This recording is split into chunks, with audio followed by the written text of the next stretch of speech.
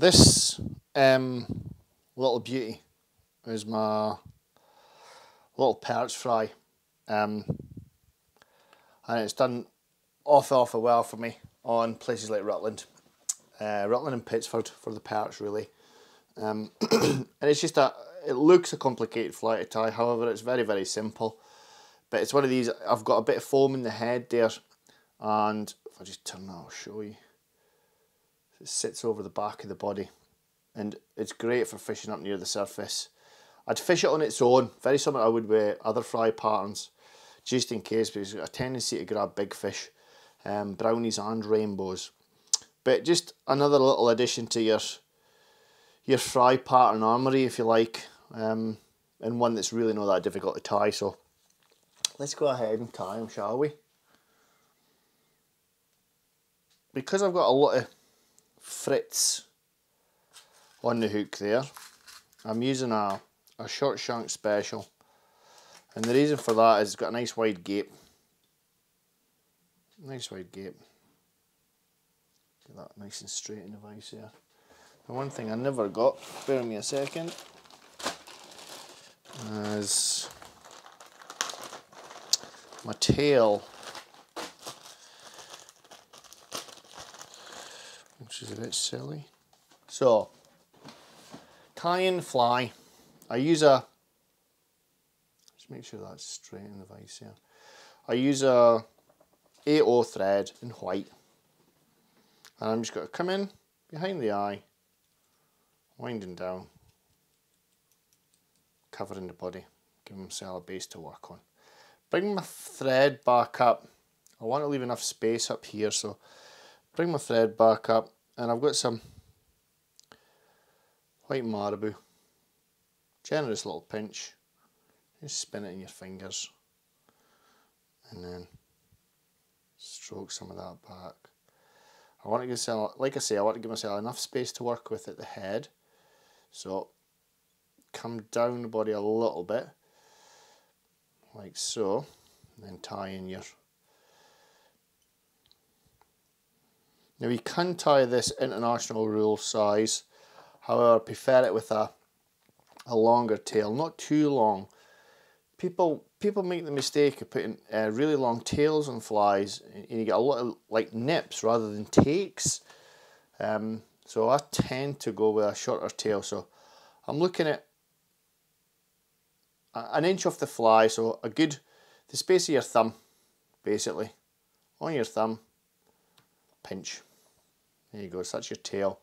The same, obviously some people's thumbs are bigger, but you can see that it's probably about the same, a little bit longer than a hook shank, because we're working with Fritz. So I've got here, you can use whatever white fritz you want. This is a really old one, uh, and it's quite short in the, the fibre. It's no long fritz, and it works really well in this because it's got a, a, a thick white core, it covers everything up. And all I'm doing is taking a few strands off the core, stroke everything back, wet your fingers if you have to, make sure that fritz is well stroked back because we've got an additional additional step uh, step to get in here. So I need a lot of space. So that's that but I've then got this really fat 15 mil olive fritz really really fat stuff this there's a lot of fibers on there and I'm just going to take some away for the core to expose the core so there's my core there tie that in and I want to make sure at the end of the core, the exposed bit's right on the fritz. And there's a reason for that. I'll show you in a second. So we're going to come up covering the body nice and even and then stick a little whip finish in there. So to do this I take my white fibre and I want to wind up and nice touch and turns. Pull the fibres back every time you take it around the hook shank, like so. So you see my fingers go straight on keep everything in place. nearly there. One more turn, I think. Maybe. Yeah, that's probably right there. So just come in and lock off with your thread. If I'm doing anything with uh, I always use a blade. This is ridiculously sharp. Ridiculously sharp. I'm going to stroke these fibres back and secure them. Wet my fingers, pull everything back, give myself a little taper to work with there. Okay, so there's your body. this is your key bit here. We've got a tail, we've got a body.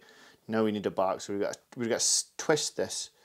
Twist, twist, twist. The reason we've got to twist this is because I want as much fritz over the back as possible. So just with your thumb and forefinger, just keep twisting, keep twisting, keep twisting, and you're just bulking the fritz up.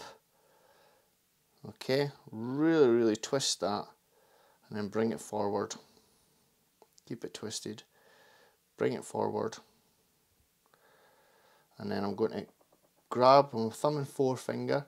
So we've got the back there, didn't let it go, I'll just let it go there. Keep it twisted, and then with my thumb and forefinger, I'm going to pull some of these fibres away. So I'm not looking on a load of bulky fritz, and then just pinch and loop and lock it in place.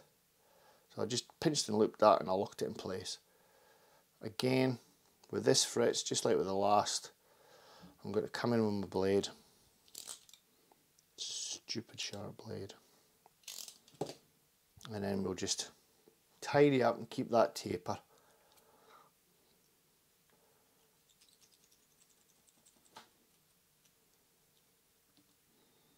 So there's your, your top and bottom just like the little perch. Any stray fibres, just wet your thread and lock everything out of the way.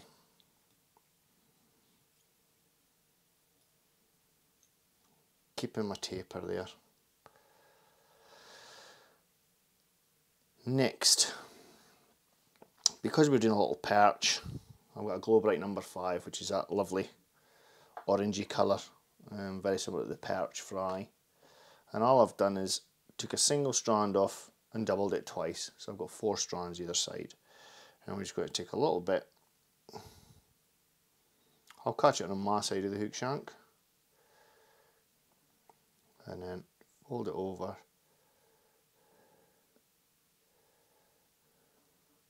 Keeping everything in place and also keeping that taper. The taper's key to this. So, to cut it, just bring your fibres up you don't need to have them too long so just just a little bit above move that so you can see the light there just a little bit longer than where the eye of the hook is and they'll sit back over the over the the body. I'll show you what I mean. Like so. Now you can you can see there that's perfect. You can give these a little bit of a a rub and a play with your velcro. Just to marry all the fibres up. Like so. So now the important bit. So this is a 7mm booby eyes in white. And all I've done is I've come in and I've cut one at an angle 45 degree angle I'll just quickly show you so if you come in and you just cut that in the middle like so at that angle and all we do is we just shape the head, and we just go around in a circle, just to shape the head so it's nice and smooth. That's that bit. So I've got one here that I've prepared, and if I just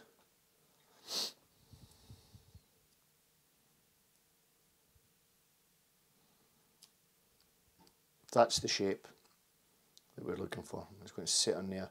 And you'll see the thickness of the, the bottom is going to sit on that taper there. So I've got a dubbing needle and I'm just going to go through from the middle, you see that, through the foam. Take your time with this. So you see there I went right through the needle. And then just couple of rubs so it's ready, primed and ready. And I'm going to whip finish here. Again, keeping my taper, like so. Now to keep this in place, I'm going to slide this bit of foam onto there from here. That's how we're going to do it. But to make sure it sticks, we've got to put a little bit of super glue. a little bit of glue, keeps everything in place. You didn't be too generous with it, you just want enough for it to stick. So now we're going to stick this on on this hook. Get everything in place here. Put it on the the eye of the hook. A bit fiddly. So it's on the eye of the hook there. And then we're just going to a little scamp. Right, let's forego that. We've got the glue and we just get the hole in over the eye. Work it back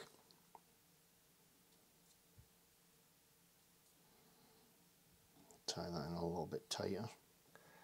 So I'm going to make the hole a little bit bigger.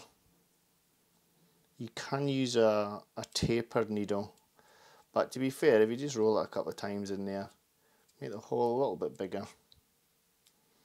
And then just slide it.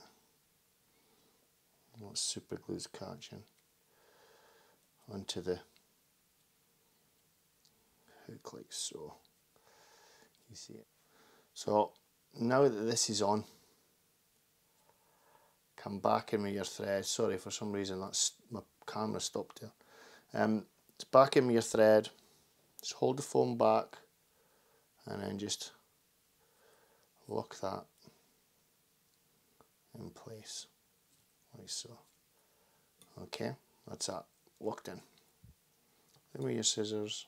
Trim the waste thread. And then we'll just whip finish to keep everything nice and secure.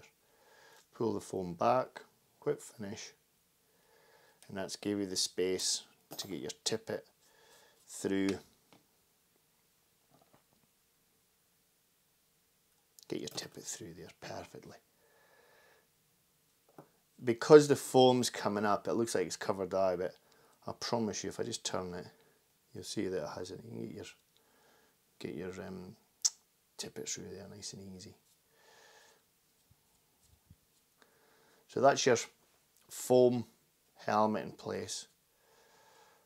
I could have maybe shaped it a little bit better. I should have rounded off the edges a bit better, but you get the idea, you can round those off. To be fair, I can probably do it with a lighter right now. So the next stage we've got is just colouring the back. So I've got this um, permanent mark marker it's a Sharpie. And this is like a, a weird green, a bottle green. And all I'm going to do is start for the back and then just come down. Don't go too far down either side until you're in line with that fritz.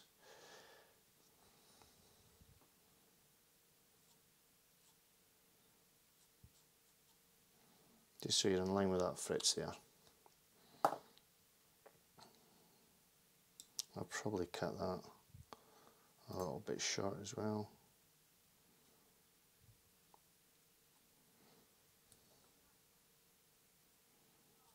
Just getting the, you see. So now to get a, the little stripes, I've got here a brown Sharpie and thin at the back, getting wider and getting wider at the front. I'll do the same on your side. I just turn that. Thin at the back. Just do little lines here and then fatter at the front like so. That's your little stripes. Nice and easy. And then what you can do, you can have this floss a little bit longer if you want. I have got a little bit longer than I'll probably cut that a little bit too short but um, you didn't want to overkill the thing. So next is little silver eyes. Uh, I'll do my side first, then your side. Little sticky silver eyes I'll do this side first so you can see it. And we just, we, we want to get these on the white rather than the colour, like so, so you can see them. And then same on my side. They're fiddly because they're very, very small. But they're worth it. They're really worth it. Eyes are a real trigger on fry patterns. A real trigger. Again, just come in. So I've got an eye on both sides there.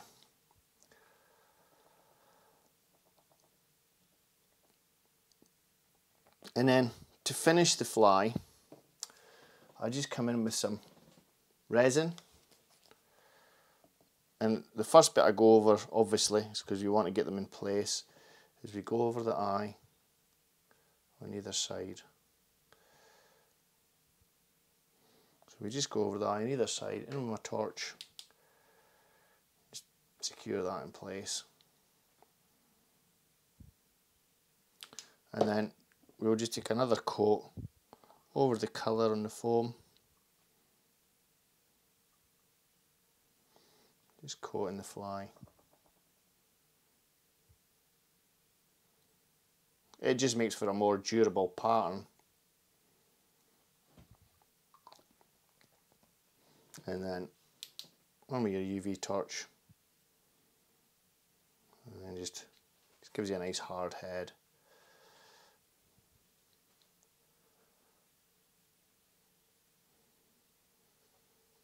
And you see what your little bits of orange in there for the, the fins. Just a lovely fly and one that works really well. Fish on a floating line or, or a slow sink tip. Um, and like I say, you can you can shape. I never shaped the, the head that great on there, but just shape the head a little bit better, a little bit rounder on that one. And you also see that the gills just a tiny bit longer.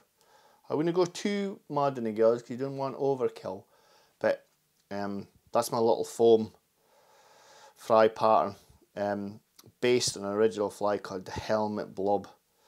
So we'll call that the Helmet Perch Fry.